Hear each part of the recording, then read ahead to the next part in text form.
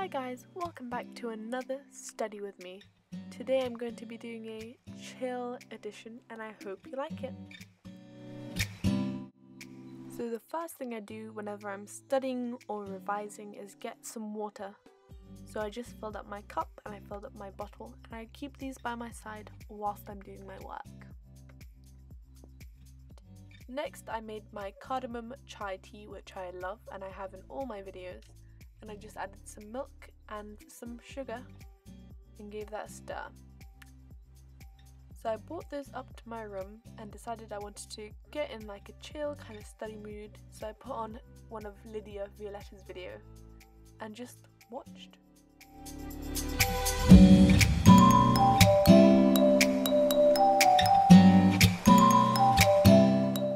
So this was her video talking about I think body positivity and then I was just scrolling through show my homework to check what I had to do. Anyways, so here I am watching her video, just chilling out, drinking some tea. Next thing I do is put on some Harry Potter ASMR and I started on my first bit of homework and that bit of homework was French.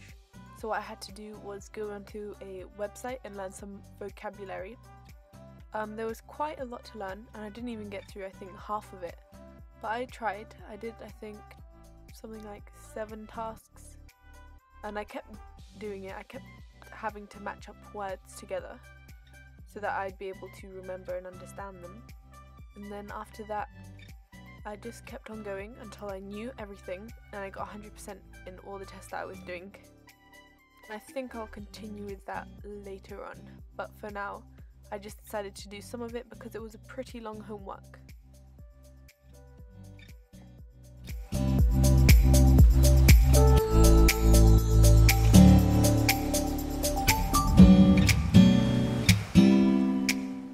So after I did that, the next thing I had to do was for my dance exam that I had on Monday and I needed to write out I think 150 words about my dance and what it was about and why I'm using this music and so here you can see me just typing it out and uh, making sure I've got everything I wanted. And then Rhiannon, my favourite study YouTuber, had a live stream of her studying and I really enjoyed this. Definitely go check out her channel. She's in my channels like me on the side anyways. So I just watched her video as I was doing my 150 words for dance and I was editing it a bit and just generally having quite a chill time. I mean, her videos are great, so please check out Rhiannon.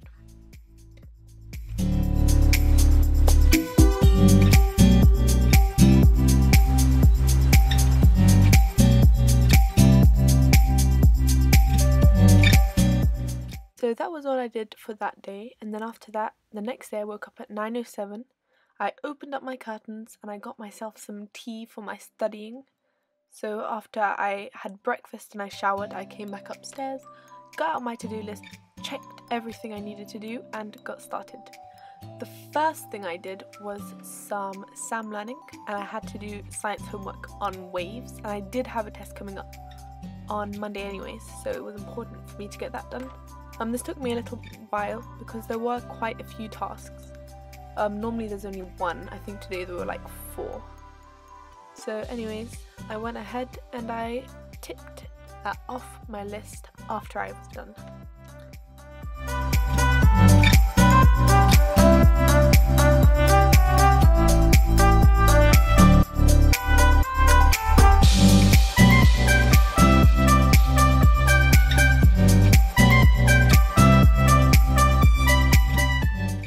So the next thing I decided to do was some science because we did have a lesson um, trying to summarize the topic and finish the last double page in the book. However, we didn't get to finish on time because there was something we had to do in class before that, which means we only had about half an hour of a lesson. So I put on my Harry Potter ASMR like always, got out my physics book, got out my notepad and started writing notes. So I did I think one ultrasound and one page for infrasound because we hadn't fully done them in class. So I just wrote those out.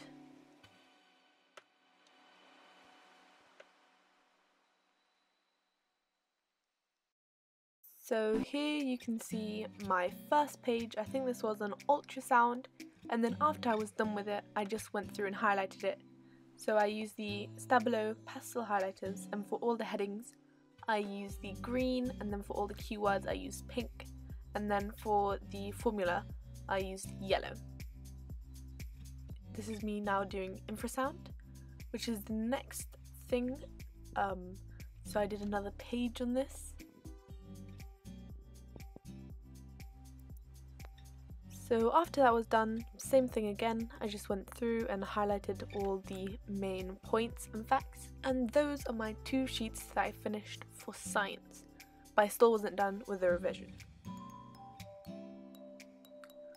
After that I'd realised I had a geography seminar coming up and I needed to do some work for it, and this one was on fracking, so I decided to make a mind map. Now I don't normally make mind maps, and if I do, they're never like this fancy. I normally just go for plain, but I thought, you know, I have time, I can make it look nice and pretty. So that's what I did.